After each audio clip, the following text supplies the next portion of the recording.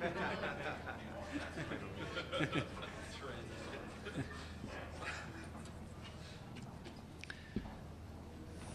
how are you? Hello, how are you? ¿Cómo están? Sí. Bueno, muy, muy buenas tardes. Uh, good afternoon to you all. Uh, I'm going to uh, read the Security Council's statements on the press statements on Colombia. I'm going to do the, uh, the Spanish version first and then the English one. Okay. Uh, uh, just before I start, allow me to acknowledge the presence of Francisco Alberto González. He's the ambassador and uh, deputy permanent representative of Colombia and chargé d'affaires of the, the mission of Colombia. El comunicado de prensa del Consejo de Seguridad sobre Colombia. Los miembros del Consejo de Seguridad reiteraron su apoyo total y unánime al proceso de paz en Colombia y compartieron la valoración del secretario general que figura en su informe de 28 de septiembre de 2018 sobre la labor de la misión de verificación de las Naciones Unidas. Los miembros del Consejo de Seguridad señalaron que la responsabilidad primordial de la aplicación del acuerdo de paz ha pasado ahora a una nueva administración y acogieron con beneplácito las primeras y prometedoras medidas adoptadas por el gobierno del presidente Duque, como el nombramiento de funcionarios clave, la reanudación de la labor de la Comisión de Seguimiento, Impulso y Verificación de la implementación del acuerdo final, y el Consejo Nacional de Reincorporación y el compromiso del presidente Duque con el diálogo social. Los miembros del Consejo de Seguridad reiteraron su grave preocupación por la persistencia de la inseguridad, el tráfico de drogas y la violencia en algunas zonas afectadas por el conflicto, en particular por la pauta continuada de asesinatos de líderes comunitarios y sociales.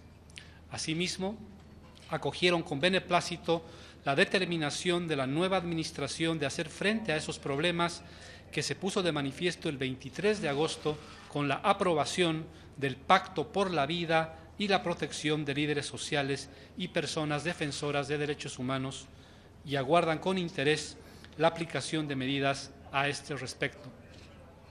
Los miembros del Consejo de Seguridad reiteraron la importancia de la plena reincorporación política, jurídica y socioeconómica de los antiguos miembros de las Fuerzas Armadas Revolucionarias de Colombia, Ejército del Pueblo, FARC-EP, y subrayaron la necesidad de que ambas partes cumplieran sus compromisos. También expresaron preocupación por el ritmo actual del proceso de reincorporación, así como por los asesinatos de exmiembros de las FARC-EP, y recalcaron la necesidad de actuar con rapidez para brindar oportunidades socioeconómicas y ofrecer las garantías jurídicas y de seguridad acordadas a los exmiembros de las FARC-EP, a fin de fomentar su confianza en el proceso de paz. A este respecto, los miembros del Consejo de Seguridad destacaron la importancia de la labor de la Jurisdicción Especial para la Paz, institución crucial en el proceso de paz que ofrece garantías a las víctimas y a los participantes en el conflicto, y de otros procesos de justicia de transición, e insistieron en que la independencia y la autonomía de la Jurisdicción Especial para la Paz se debe respetar cabalmente. También acogieron con satisfacción los compromisos del presidente Duque con un proceso de reincorporación más eficaz y aguardan con interés que el progreso se acelere en las próximas semanas. Los miembros del Consejo de Seguridad acogieron con beneplácito el compromiso asumido por la vicepresidenta Marta Lucía Ramírez de mantener un diálogo con los grupos de mujeres y señalaron la importancia de que se concediese mayor prioridad y recursos para garantizar la aplicación efectiva de las disposiciones en materia de género del acuerdo de paz respecto a las garantías de seguridad y la reincorporación. También acogieron favorablemente que la misión de verificación aprobase una estrategia sobre la aplicación de las resoluciones 2250 y 2419, con especial atención al papel de la juventud en la reincorporación y las garantías de seguridad. Los miembros del Consejo de Seguridad reafirmaron su compromiso de trabajar con Colombia bajo la nueva administración para renovar la dinámica favorable a la aplicación del acuerdo de paz a fin de lograr una paz duradera. A este respecto, se hicieron eco de la esperanza manifestada por el secretario general de que las instituciones colombianas seguirán trabajando en las cuestiones que constituyen el núcleo de la agenda de paz, la seguridad, el desarrollo y el Estado de Derecho en las zonas afectadas por el conflicto.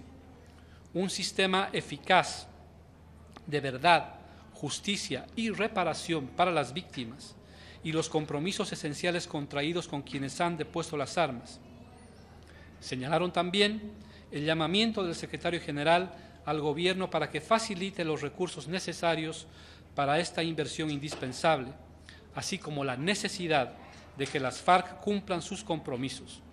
Y destacaron la importancia de que la comunidad internacional siguiera colaborando estrechamente para apoyar y alentar la aplicación.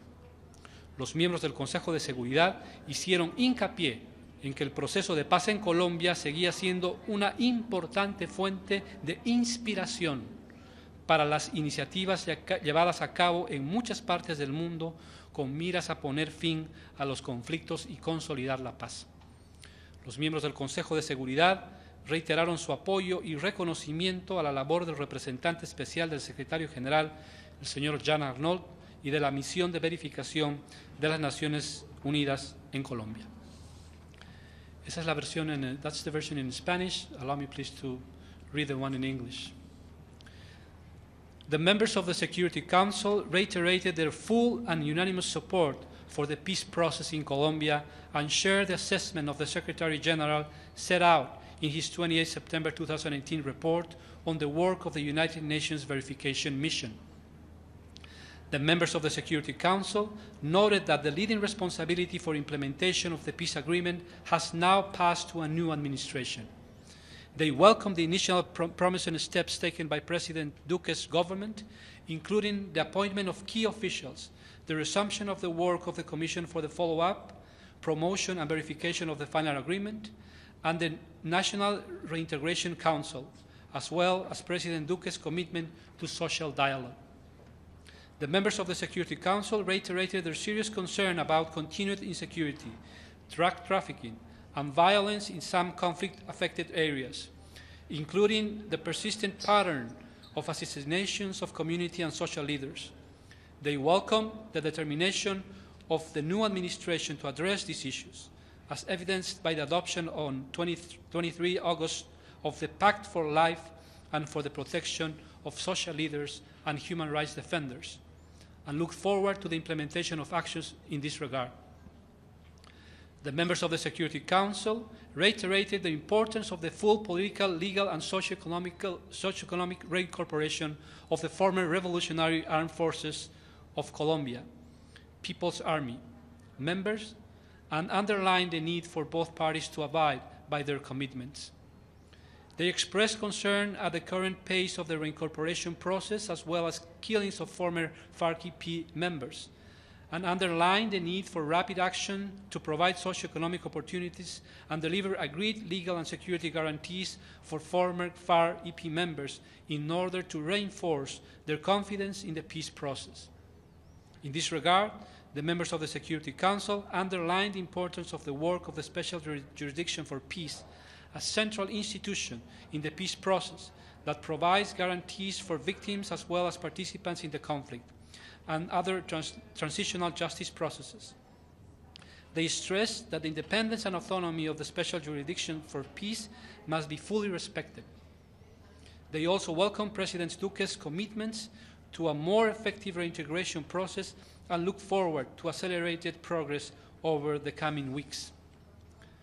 The members of the Security Council welcome the commitment by Vice President Marta Lucia Ramirez to maintain dialogue with women's groups and noted the importance of greater prioritization and resources to ensure effective implementation of gender provisions in the peace agreement with regard to security guarantees and reintegration.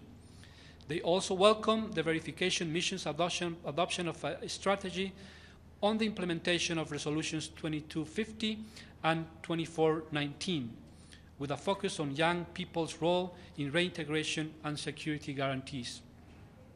The members of the Security Council reaffirmed their commitment to working with Colombia under the new administration to renew momentum behind implementation of the peace agreement in order to secure a lasting peace. In this regard, they echoed the Secretary General's hope that the new administration will continue to pursue those issues at the core of the peace agenda security, development, and the rule of law in those areas affected by the conflict, an effective system of truth, justice, and reparation for, the, for victims, and essential commitments to those who laid down arms.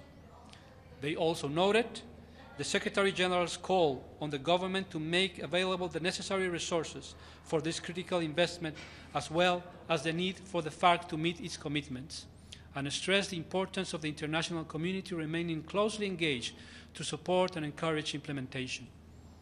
The members of the Security Council stressed the continued importance of Colombia's peace process as a source of inspiration for efforts in many parts of the world to end conflicts and build peace.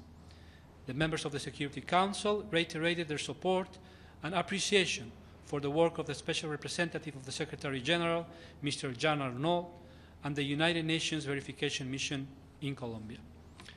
Thank you very much. We Verónica de la W Radio, el canciller cuando estuvo aquí hablando ayer en el Consejo de Seguridad insinuó un poco que el gobierno de Iván Duque viene a arreglar problemas que existían en el gobierno pasado. ¿Esa es la misma visión del Consejo de Seguridad? Disculpe que no, no, no voy a poder responder a sus preguntas porque lo que quería hacer era transmitir fielmente eh, la- el comunicado de prensa del eh, Consejo de Seguridad. ¿sí? President, in your national capacity, what is the sense of your nation regarding the disappearance and presumed murder of journalist Jamal Khashoggi? And do you, what is the threshold do you feel for the Security Council to take a stand, get involved, discuss?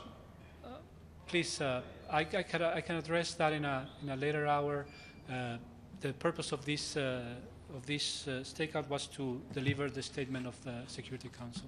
I understand that's an important issue, there but discussions about having a meeting on that, though, just so we have a haven't heard any yet. Not- no.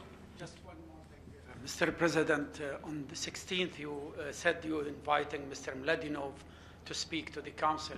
Now, the Palestinian Liberation Organization said that he's persona non grata. They, they, don't, they want to continue cooperating with him. Are you still going to invite him to speak? I'll get back to you on that. Okay? Thank you very much. But he's going to be uh, the briefer, of course. Yes. Is he here? Thank you very much, Mr.